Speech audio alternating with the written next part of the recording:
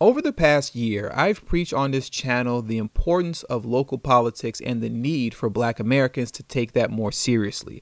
The men and women taking up the seats at city council mean far more than the man or woman sitting at the seat of the presidency. It's city council members in New York that gave non citizens the right to vote in New York local elections without any regards to what that would mean for the city's black population, who are far outnumbered by everyone else combined in the state. This bill is taxation with representation.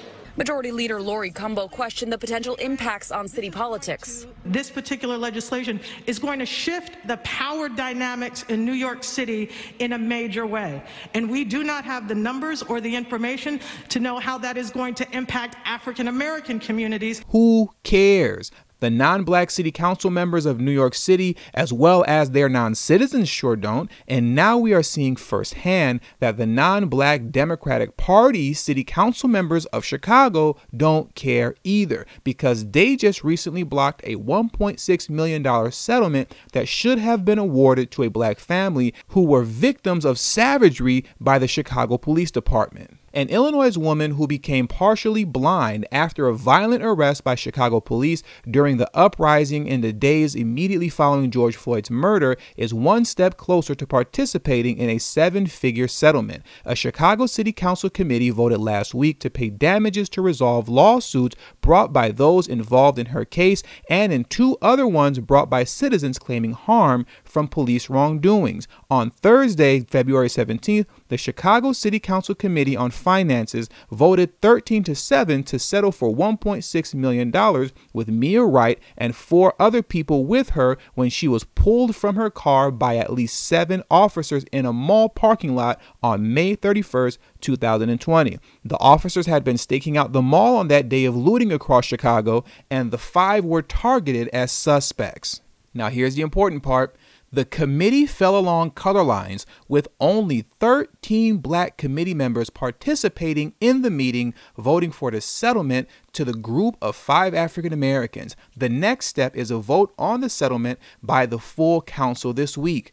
Alderman Raymond Lopez said in opposing the settlement that the city would be opening a Pandora's box by settling the lawsuit and would give everyone an excuse to start suing. By early last December, the city of Chicago had already paid out more than $67 million in 2021 alone to resolve police misconduct claims. Well, here's an idea. How about the police stop abusing their power and stop engaging in police misconduct? Isn't that what they tell black people all the time? If he would have just complied, he wouldn't have gotten killed. All you have to do is comply. Why is that so hard? Well, on the flip side, if the police would just do their job without acting like savage beasts, then there wouldn't be any need for payouts now, would there? Wright, who would receive the largest payout if approved by the council, says her violent confrontation with the police on May afternoon left her blind in one eye and impeded her dream of becoming a paramedic. Many businesses were closed on that Sunday as protesters over the murder of George Floyd deteriorated into looting, but this family says they were only trying to make their way to the mall's target unaware that it had been closed. The 26 year old former emergency medical technician student claims she was attempting to obey the officer's command and get out of the front passenger seat of her cousin's vehicle. However, before she can get out of the vehicle, one of the cops grabbed her by her hair and pulled her out of the car. After putting her on the ground, he kneeled on her neck. Now, mind you,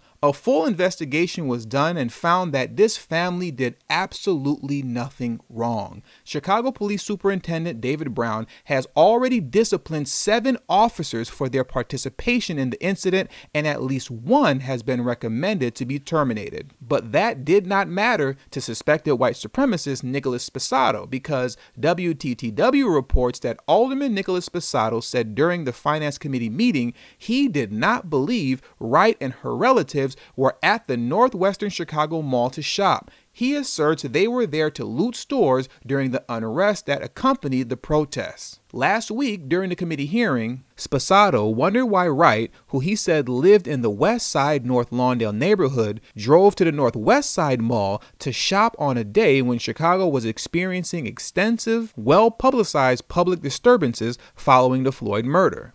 Oh, so now it makes sense.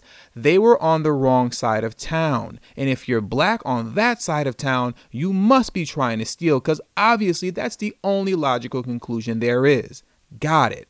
Now, this past Wednesday, City Council was supposed to vote on paying out the settlement, to which Wright would receive $650,000 in the preceded $1.6 million settlement, and the others in her group would be awarded $243,750 each. That's what was supposed to happen, but let's see how that actually played out.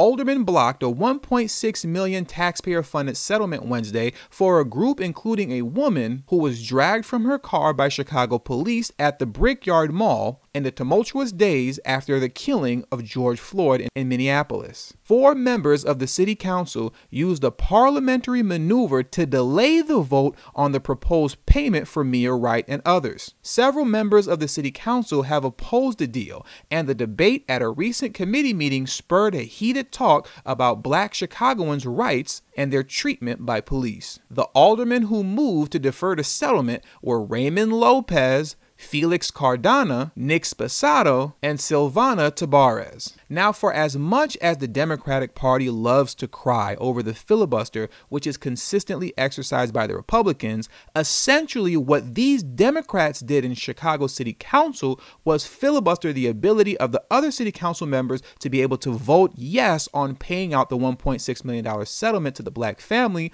that was violently assaulted by the police. And they did this because they knew they did not have enough city council members to vote against it. But here's what I find even more interesting is that that same day, Chicago City Council did this. Also, Wednesday, the City Council passed a $1.2 million settlement for Hamner Orozco Corredo and Carlos Ramirez, two men who said an off duty Chicago police officer shot at them while they were parked on Irving Park Road in the Albany Park neighborhood in December 2020. So, as you can see, these same city council members did not oppose giving out money when it was going to these Hispanic men. But when it was time to pay off the black family, now all of a sudden they're filibustering the vote in an attempt to prevent them from getting what's rightfully theirs because apparently, according to Mr. Raymond Lopez, that would be opening Pandora's box. Now, there are multiple examples of situations like this going on all throughout the country, and I've spoke on them before, but for the sake of time, I'm not going to get into all that right now. Just understand that this is very common, and this is why local politics matter.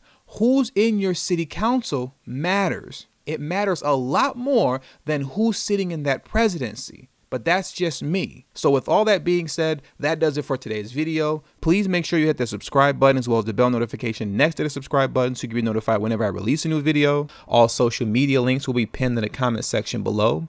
Please make sure you text TD Hip Hop to number 33222. That's TD Hip Hop to number 33222.